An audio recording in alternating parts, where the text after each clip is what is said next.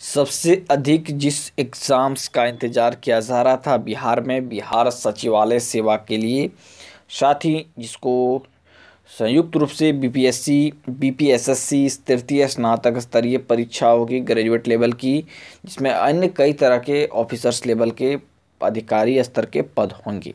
इसका इंतज़ार बहुत दिनों से था और अब इंतज़ार की घड़ी ख़त्म हो गई है।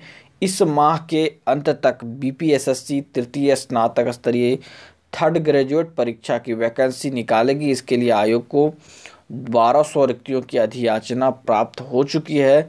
अगले एक दो सप्ताह में इसे बढ़ाकर पंद्रह सौ होने की संभावना है। पीटी एग्ज़ाम अप्रैल मई में होगा।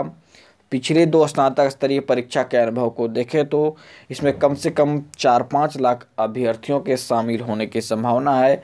अगले माह सेकेंड इंटर स्तरीय परीक्षा का विज्ञापन भी निकलेगा, इसमें आठ सौ रिक्ति रहने की संभावना है। यानी कि इंटर लेवल का B P S S C exam फिर से होगा। हालाँकि फ़र्स्ट वाला एग्ज़ाम अभी तक क्लियर नहीं हो पाया है और इसमें आठ सौ वैकेंसी रहेगी।